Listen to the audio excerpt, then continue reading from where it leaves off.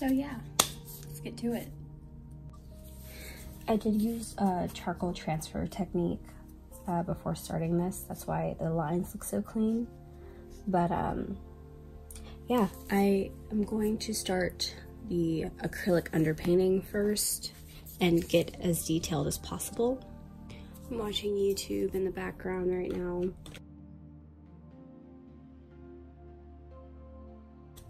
I'm going in with Liquitex Basics. And I'm only doing this just to like seal the graphite.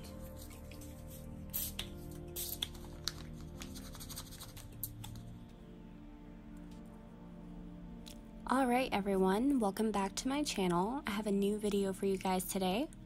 And the title of this painting, I think I'm going to call it Blood and Chocolate. So this painting was my first official like really deep skin tone, so I was really excited about it. I haven't done a really deep skin tone ever. So I was just like, let's do it. Let's go in. You know, I've practiced enough and it's time to do something really different. And I think I'm probably going to make this like a series where I do like different races, like different ethnic groups. And I don't know, I feel like that would just be like an interesting concept. But let me know what you guys think about that. So to start off this painting, I started off with an acrylic underpainting and I did so much of the acrylic underpainting that it was pretty much done by the time I got to the oils. So that was pretty good for me. Um, I haven't painted with acrylics in so long.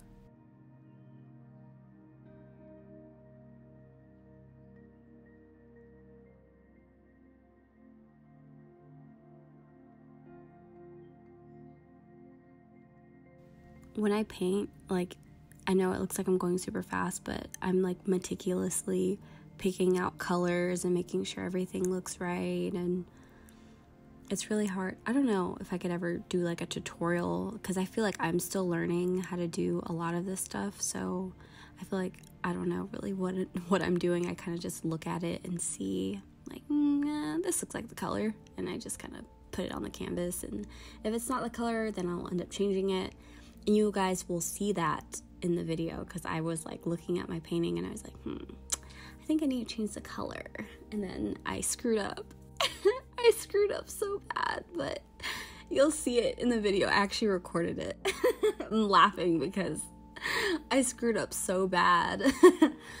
I put like too much purple, but it's fine. It's coming anyway.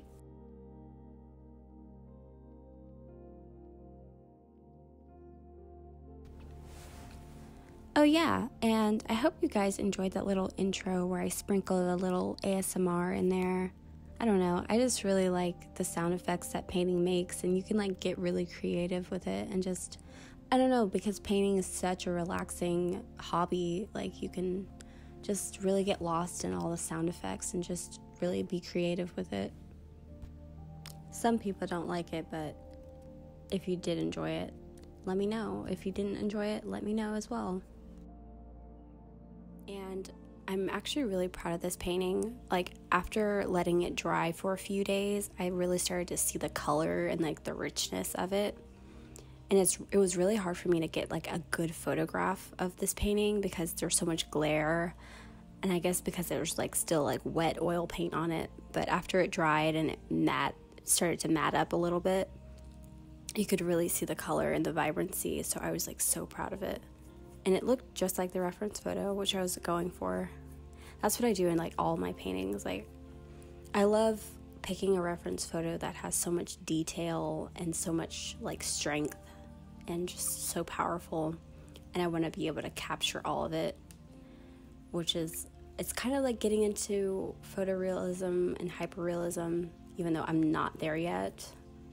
I'm definitely not there yet. There are way more realistic painters out there, but that's what I try to aim for just to get as much detail as possible and really train my eye to see color and see values and see details because it's something that people say artists are talented, but it's not something that I feel is talent. It's something that you practice and that you learn over time.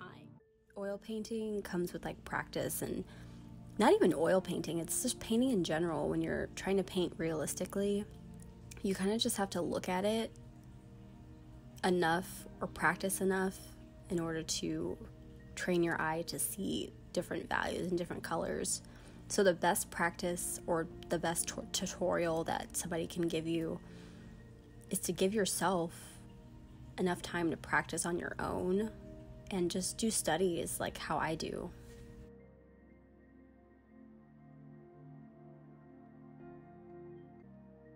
Of my work is basically just a recreation of the photographer's work. It's the photographer's camera shot or it's the model's features that I'm just implementing into an artistic form. So I never try to take credit for anything that you you guys see me create because it's not really mine. I'm just using it as a study and just putting it bringing it back to my canvas in an artistic way.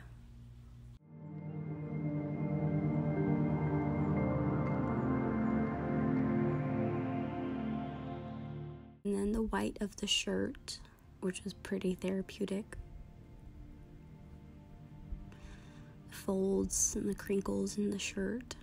I think that's a Nike shirt, by the way. Just kidding. I don't know. It's probably from Walmart. But uh, yeah. Here you can see where I made that mistake I was talking about earlier.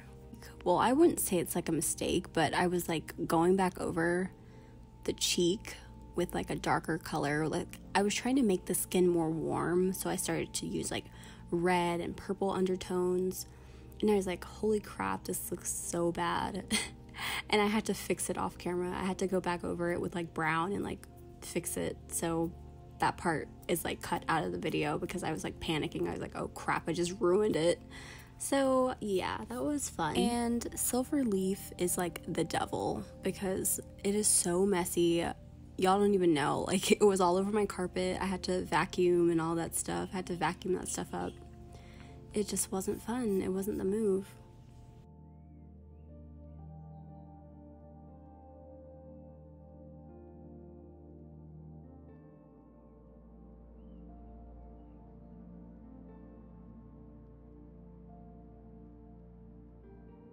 Anyways, I hope you guys enjoyed this video. There are no crazy edits on this one because I was pretty proud of this one just by itself and how it looked. So I hope you guys enjoy this video. Please make sure to give this video a like and subscribe and have an awesome day. Bye.